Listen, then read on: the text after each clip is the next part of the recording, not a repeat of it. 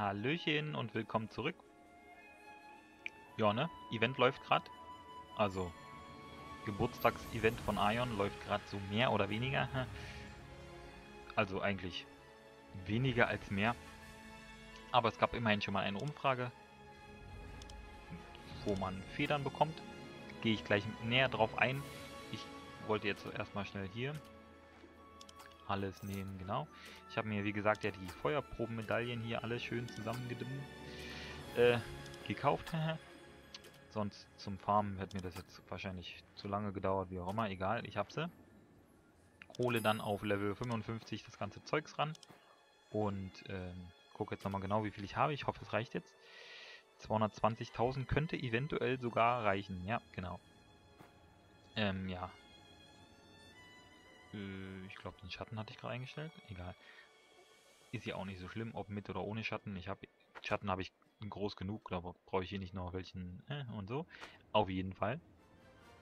Ist jetzt Geburtstagsevent.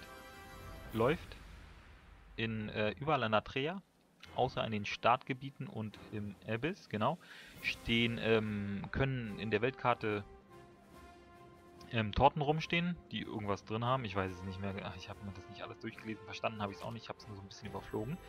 Auf jeden Fall gibt es da ähm, Torten. Da können auch hier so eine Federn rausbekommen. Die hat man jetzt erst, die hat man jetzt erstmal als Umfrage bekommen, weil äh, Gameforge leider ähm, das nicht richtig zum Laufen bekommen hat und jetzt äh, auf äh, auf Korea warten muss, dass da von der Hauptzentrale halt von, von Gameforge, wollte ich sagen, von NCSoft, dass da ähm, ein Fix kommt, damit da alles vernünftig funktioniert. Wie gesagt, ähm, ist jetzt ein Event, was läuft. Eigentlich bekommt man alle halbe Stunde ähm, hier so eine blaue Feder ins Inventar. Maximal 8 Stück am Tag, also 4 Stunden einloggen und man hat das Maximale ähm, an diesen Federn draußen. So, ich werde gleich mal ähm, nach Sanctum gehen. Ich entschuldige mich jetzt schon mal für das ähm, Ruckeln, was gleich sein wird, weil ich glaube, da ist jetzt relativ viel los, weil gerade bei AFK-Events ist es immer so, dass dann die Server wieder voller sind als, sowieso, also als sonst, weil einfach, weil alle Leute eingeloggt rumstehen und äh, warten, dass ähm, sie so eine Feder ins Inventar bekommen. So, wie gesagt, ich näher mich dem mal ganz langsam. Ähm, die Framerate wird hier mal ein bisschen einbrechen. Wie gesagt, entschuldige ich mich jetzt schon mal für, dass es ein bisschen ruckelt. Aber wie gesagt, ah, hier drüben stehen noch unsere ganzen coolen Quests. Ich gehe mal nochmal kurz zu dir, weil der so eine, so eine normale Quest hat. Ach, der gibt nochmal Münzen, okay. Ist ja erstmal nicht so wichtig. Auf jeden Fall Seid Gucken wir uns mal kurz die Sachen an, genau. So, wie gesagt, sollte dann ich nehme jetzt jetzt auf, also ist morgen, also am 19.09. geht das Video on, ne? Also lade ich es auf YouTube hoch, so. Auf jeden Fall sollte dann morgen, Stand jetzt, morgen ein Fix kommen aus Korea und der wird dann auf die Server gespielt und dann bekommt man alle halbe Stunde eine Feder ins Inventar von diesen hier. Gerade ist noch bis ähm, bis Freitagmittag, Nachmittag, 15 Uhr glaube ich oder so, noch eine, ähm, eine Umfrage, wo man zwölf Stück als Entschädigung bekommt. Und ähm, die bekommt man einmal pro Account. Also nicht schön mit jedem einloggen, sondern mit einem Char abholen und äh, dann aufmachen. Da bekommen dann verschiedene farbige Federn raus. Hier zum Beispiel im Chat.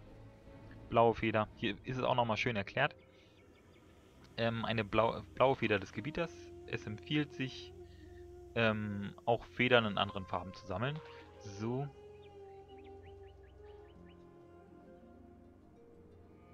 Ja, jetzt wird man ja auch schon voll gespammt. Ich lehne mal äh, dankend ab. Ähm, auf jeden Fall... So viel Geld habe ich gar nicht.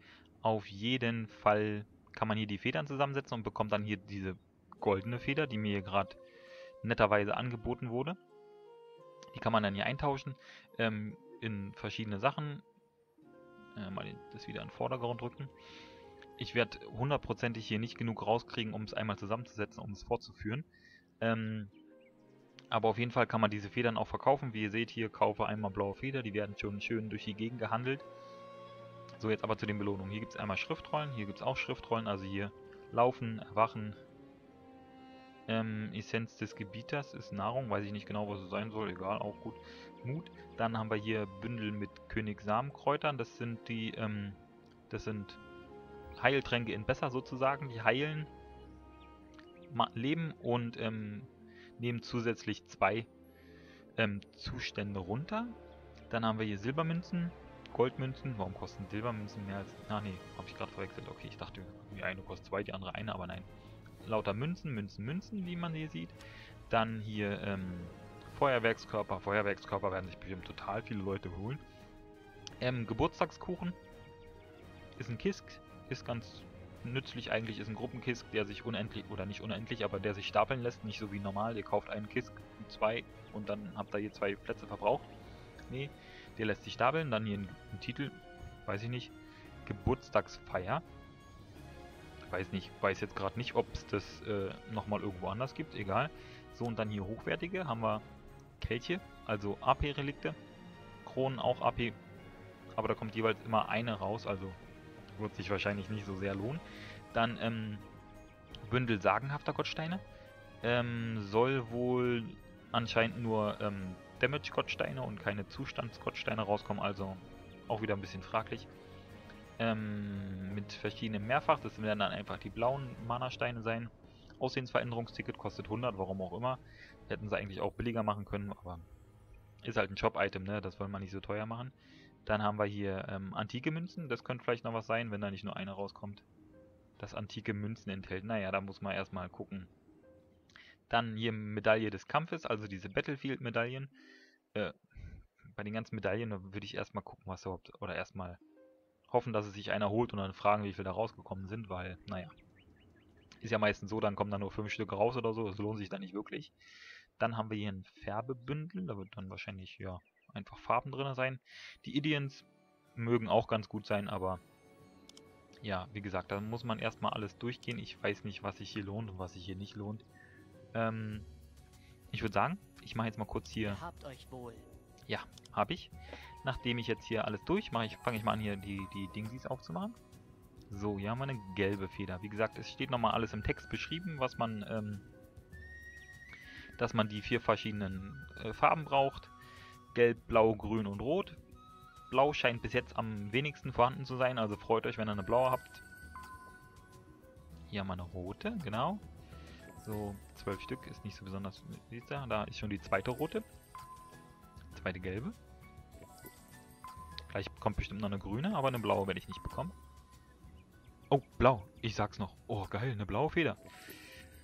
Aufgepasst, Leute. Vielleicht habe ich ja doch Glück, und aber vielleicht kriege ich gar keine grüne. Aber ich glaube, die, die, die grünen sind nicht so teuer am Kaufen. Doch eine grüne. Ja, das ist Vorführeffekt. Super. Besser kann es ja gar nicht laufen. Zwar nur eine blaue, aber immerhin, ich kann was zusammensetzen. Das ist ja schon mal...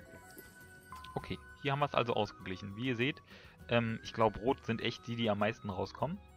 Jetzt haben wir echt, jetzt haben wir Glück gehabt. Ich werde die auch jetzt auch nicht verkaufen, sondern euch einmal hier vorführen. Mal gucken, ob ich hier, hier Feder, genau. Hier kann man dann zum Beispiel mal gucken. Da, die verkauft blaue Federn, mehr als genug. Gucken wir mal, was man da für eine verlangt. 6 Millionen für eine blaue Feder. Da wir nicht so China... Also Moment, hier war ja noch einer. Ah ne, der erzählt nur von den Torten.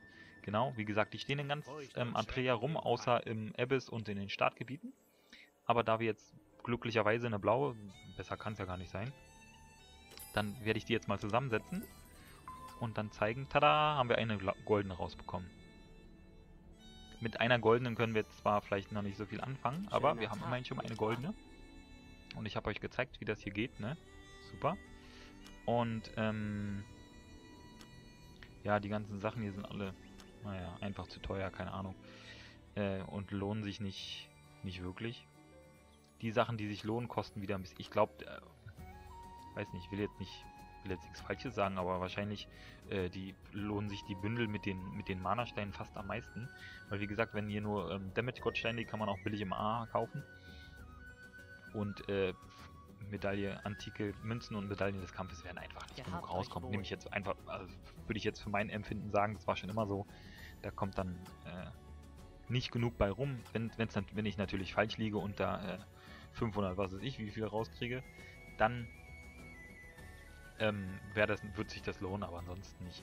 So, wie gesagt, wir, wir sind jetzt hier in, in Ingison gebunden. Dann machen wir jetzt einfach mal... Nein, machen wir nicht. Ich habe nämlich was vergessen, mir zuzuschicken, die Mana-Steine, aber es macht erstmal nichts. Machen wir dann. Wir gehen jetzt erstmal schnell ähm, gucken, ob die ob die hier die Machtkampf, äh, Machtkampf sage ich schon, die Feuerprobenmedaillen jetzt ausreichen, um das Ganze zu holen. Kann ich zwar noch nicht anziehen, aber ist nicht so schlimm. Ich freue mich ja umso mehr, dass ich eine blaue dabei hatte und gleich mal zeigen konnte, wie äh, ja, wie das aussieht. Ne, wir hatten die ganzen, die grünen, rote, gelbe, die blaue haben wir jetzt zusammengesetzt, zusammengefügt und haben eine goldene rausbekommen. Die kann man jetzt nicht mehr handeln, also vom, wenn ihr nur Geld machen wollt und eh nichts von den Sachen holen wollt, dann fügt ihr die nicht zusammen, sondern verkauft einfach die Federn und die, äh, ja, auf dem, tja, ist mir das, oder finde ich es nicht so schlimm, wenn da jetzt irgendwas rumliegt, womit ich doch nichts anfangen kann. Ähm, so, genau. Ich weiß zwar nicht, ob das jetzt so mega gut ist für, äh, für Baden an sich, aber ähm, ich glaube, ich hole es einfach mal, einfach um, um eine vernünftige Rüstung zu haben. Ist auch überall, äh, ist auch Magieverstärkung überall drauf. Das ist also, es kann sich nur lohnen eigentlich in, in meiner Situation. Auf jeden Fall.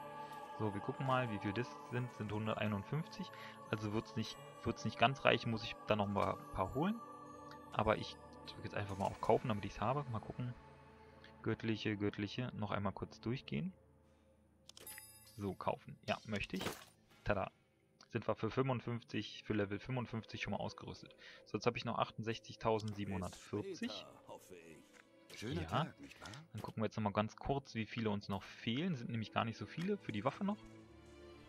Hier haben wir das Seiteninstrument. Ähm, Pi mal Daumen 1500 fehlen. Sollte relativ fix ähm, geholt sein. Machen wir hier mal wieder zu. Ähm, ich brüll jetzt einfach mal ganz kurz. Ja, den coolen habe ich noch drin. Ähm, 420er Inf Please, genau. Mal gucken, ob da einer reagiert und mich einlädt. Dann können wir da mal schnell reingehen. Und eben ähm, schon mal 420. Äh, fehlen dann nur noch ähm, knappe 1000. Die sollte man auch noch zusammenkriegen, wenn ich nochmal ein bisschen Arena, wenn ich nochmal in die Arena reinlaufe oder was. So, mich besiegt keine Illusion. Slash P. Ah ja, ist jetzt natürlich weg. Gleich bedanken. Dumm die dumm. Ah ja. So, nochmal.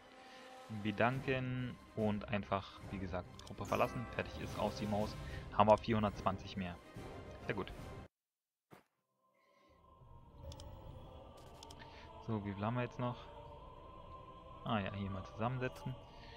So, jetzt haben wir 69.160. Ja genau, fehlen noch genau 950. Naja, das klingt doch ganz gut. Dann ähm, Tickets und so sind schon abgelaufen, klar. Herrlicher Tag, nicht Holen wahr? wir hier mal ein Ticket. Ja, vielen Dank. Die landen ja eh hier drin.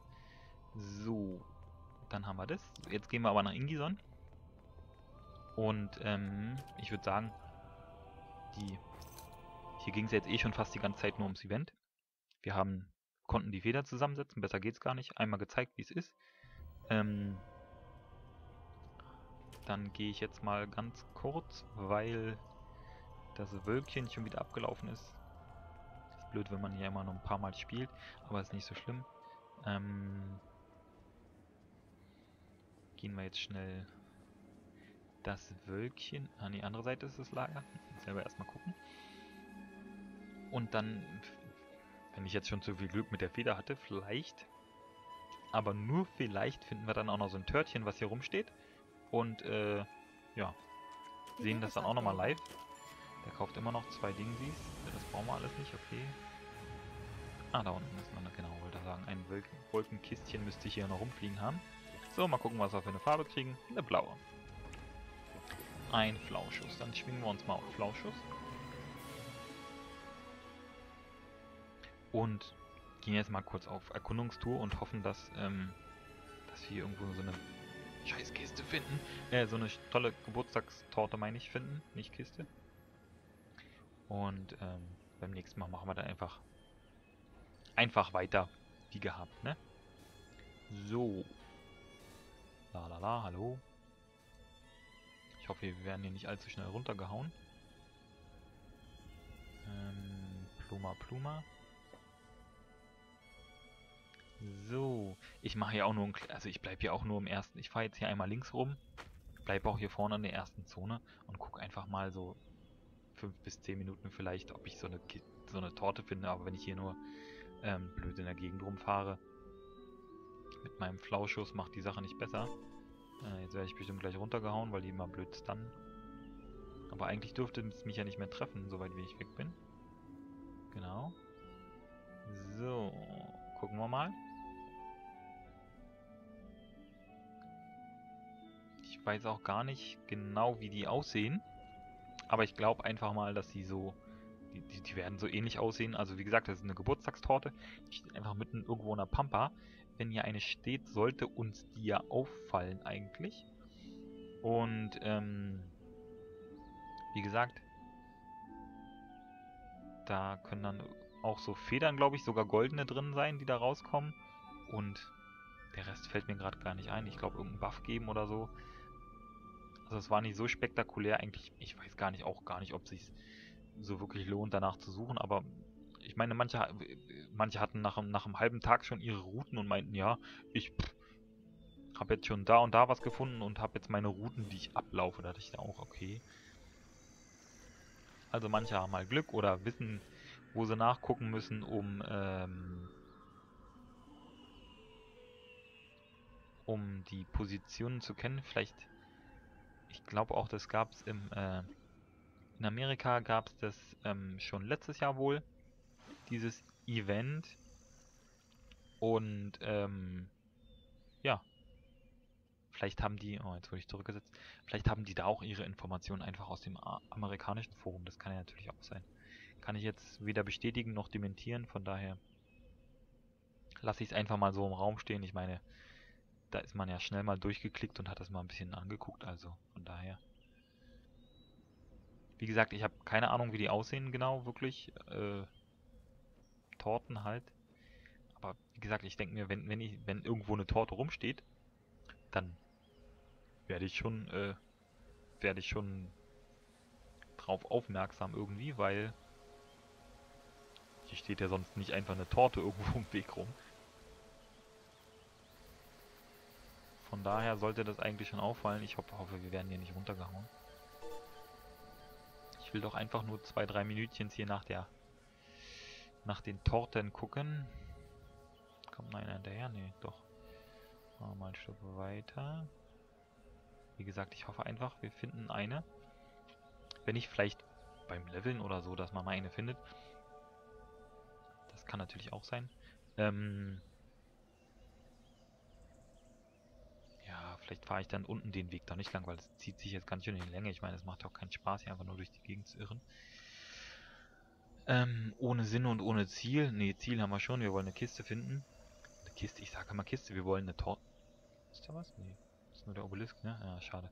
Ähm, wir wollen... Na ja, gut, der wird auch nicht auf der Karte angezeigt. Wir wollen ja nur eine Torte finden, eigentlich. Um die mal zu zeigen. wie sie denn aussieht und was da so rauskommen kann. Ähm, ja, Infos gibt es auch einfach auf, auf der äh, Gameforge-Seite, ne? also auf der Homepage, auf der normalen. Ähm, oh, die haben so große Agro-Radien. Ich hoffe, ich komme da vorbei. Ich hoffe, ich komme überhaupt mal hoch. Aber hier, das war auch mein extremes Elite-Gebiet. Aber jetzt, wie ihr seht, machen wir mal kurz hier ein Dings rein. So, gucken wir mal. Wie gesagt, das war hier echt mal ein richtig böses Elite-Gebiet. Oh, die halten immer noch ganz schön was aus. Aber ich werde ja wohl einen irgendwie tot kriegen, hoffe ich.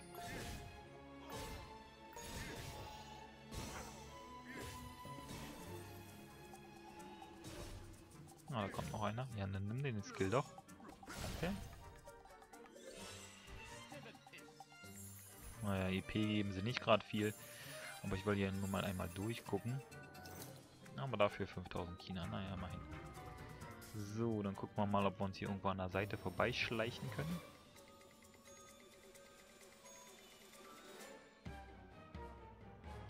Ich habe nur keine Lust hier alles hinter mir herzuziehen und dann am Ende, ne, bin ich nur tot und liege hier irgendwo rum und wollte eigentlich nur nach Torten gucken. Ich wir uns mal schnell auf die Wolke hier drauf. Ich habe leider auch echt überhaupt keine Ahnung, wo, wo genau die rumstehen sollen. Wie gesagt, also es kann in ganz Adrea, außer in den Startgebieten und im Abyss, so steht es zumindest auf der, ähm, oh scheiße, auf der Homepage und so drauf. Und deswegen gucke ich jetzt hier einfach mal ein bisschen rum. Hoffe, dass wir nicht sterben, sondern irgendwas finden hier vielleicht. Aber ich glaube, ich sterbe eher, als dass ich was finde. Aber egal, so, dann gehen wir mal hier. Gehen wir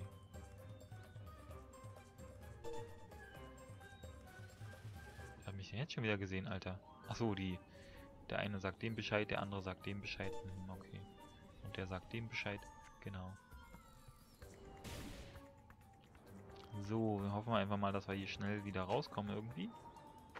Der Minimap war noch... Ach, da unten war sie. Hab ich gerade gar nicht gesehen. Ja, es wird jetzt ein paar Mal Düdüt machen, weil hier einer den anderen und sowieso und überhaupt. Und hast du nicht gesehen? Wir gucken aber nur noch Törtchen, Törtchen, Törtchen. Habe so das dumpfe Gefühl, die Torte gibt mir, äh, zeigt sich heute nicht mehr. Obwohl hier hinten, also wenn hier hinten eine wäre, hätte man sie eigentlich finden müssen, weil, äh, wer, wer geht denn hier hin, bitte? Niemand. So. Dann hoffen wir einfach mal, dass wir hier wieder ähm, heil runterkommen, aber es sieht ganz gut aus. Die geben hier auch die Verfolgung auf. Hm. Also entweder steht er da wirklich nur blöd rum oder er, das ist ein Spawnpunkt von, äh, von einer Torte. Kann natürlich auch sein, weil ich glaube, manche stellen sich da einfach an, wenn sie einen Punkt gefunden haben und ähm, und warten dann da, bis, bis wieder respawnt. Machen wir nicht, weil pff, so viel Langeweile habe ich noch wieder nicht. Mich da stundenlang an eine Stelle zu stellen und oder ich weiß nicht, ob es stundenlang ist. Aber ich nehme einfach mal an, dass es nicht innerhalb von zwei Minuten da die nächste kommt, sondern dass es schon ein bisschen auf sich warten lässt, die gute Torte. Den muss ich jetzt leider essen, sonst kommen wir ja nirgendwo lang. Ja, ja. So, ich glaube, dass ich gebe es jetzt auch. Was heißt, ich gebe es auf? Wir fahren gleich einfach ähm, weiter im Text, genau. Äh, Display, Display, Display, was war das? Hier war Display, genau. So. Ja, leider keine gefunden. Ich habe auch nicht habe auch nicht wirklich damit gerechnet, dass wir jetzt hier eine finden. Ich gehe mal jetzt zurück nach ähm, Ingison. Habe jetzt genug hier vom Event erzählt, also sollte eigentlich jetzt soweit hoffentlich klar sein. Ab morgen, beziehungsweise dann ab heute, wenn das Video da ist, äh, bekommt man jeden Tag maximal 8 Federn, die man jeweils aufmachen kann. Dann kann dann eine grüne, rote, gelbe oder blaue rauskommen. Wenn man alle vier hat, kann man sie zusammensetzen zu goldenen und mit den goldenen kann man dann die Event-Sachen kaufen. Soweit äh, die Theorie. Praktisch muss man dann gucken. Wie gesagt, äh, Kuchen kann man auch, die Törtchen stehen überall wohl in Atrea rum, kann man suchen. Und da können auch ähm, Federn drin sein. Diese blauen, glaube ich. Ich glaube sogar auch goldene. Und ähm, damit kann man sich dann schöne Sachen holen. Gucken wir mal kurz nach den 22ern. Ähm, davon hatte ich, glaube ich, noch ein paar. So, die kosten so viel. Ich gucke nur einmal ganz kurz. Und die sind schon wieder mehr als überteuer. Ach du Scheiße. Es gibt keine 25er. Ups. Also, 27er gibt es aber. Also, ich sockel dem mit 22ern. Okay. Ähm, also hier auf die Sachen sockel ich dann 22er. Ja, danke. Leb wohl auch. Wie gesagt, Event. Vier verschiedene Federn. Ergebene goldene. Mit den goldenen kann man tolle Sachen kaufen. Kuchen überall in Atrea suchen, außer in den Startgebieten Und ja, wie gesagt, das war's erstmal. Und äh, nächstes Mal gehen wir dann in die Arena. Also danke fürs Zuschauen und bis dann. Ciao.